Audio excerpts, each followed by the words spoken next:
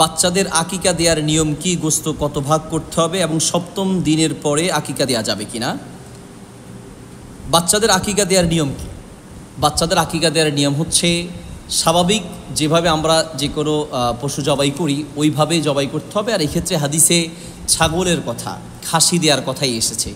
কারণবশত উট দিয়ে দেওয়ারও রেওয়ায়ত পাওয়া যায়। তবে রসুল সাল্লা সাল্লাম থেকে যে রেওয়ায়তগুলো পাওয়া যায় এবং সাহাবিদের থেকে যে আমলটি পাওয়া যায় তা হচ্ছে খাসি জবাই করার ব্যাপারে। তো ছেলে হলে দুটি আর মেয়ে হলে একটি। বাকি কারও যদি আর্থিক কোনো সমস্যা থাকে তাহলে সেই ক্ষেত্রে একজন ছেলের পক্ষ থেকে একটা খাসি জবাই করলেও চলবে। তবে উত্তম হচ্ছে দুটি দেয়া। যদি আর্থিক সমস্যা থাকে তাহলে একটি দিল। নিয়ম হচ্ছে সপ্তম দিনে আকিকা করা।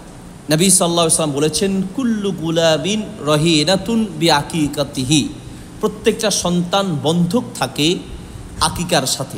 আকিকার সাথে প্রত্যেকটা সন্তান বন্ধক থাকে। বন্ধক থাকার অর্থ কী? ওলামাগর বিভিন্ন ব্যাখ্যা করেছেন। এর সবচেয়ে গ্রহণযোগ্য ব্যাখ্যা সেটা হচ্ছে যে, কেয়ামতের মাঠে এই বান্দা মা বাবার জন্য সুপারিশ করবে। এই সুপারিশের বন্ধক, এই সুপারিশের বন্ধকটা থাকে আকিকার সাথে। এই জন্য সন্তানের পক্ষ থেকে যখন আকিকা করা হয়, তখন এই সন্তান মা বাবার জন্য সুপারিশ কেয়ামতের মাঠে করতে পারবে। আবার কেউ কেউ বলেছেন বন্ধক এখানে তার শারীরিক অসুস্থতা, বিভিন্ন এই ধরনের ব্যাখ্যা অনেক ওলামাগন করেছেন। তাহলে সপ্তম দিনে আকিকা করতে হয়, এটা হচ্ছে নিয়ম। বাকি কেউ যদি সপ্তম দিনে করতে না পারে, তাহলে সে চোদ্দতম দিনে করবে অথবা একুশতম দিনে করবে।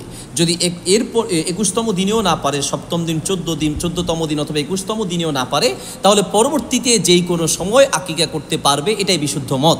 যদিও কেউ কেউ বলেছেন যে সপ্তম দিনের পরে আর আকিকা করা যাবে না, তবে এই মতের চেয়ে সপ্তম দিনেই দেওয়া উত্তম। কোনো কারণে সপ্তম দিতে না পারলেও এই বন্ধকটা মুক্ত করার জন্য পরবর্তীতে আকিকা দেয়া যাবে।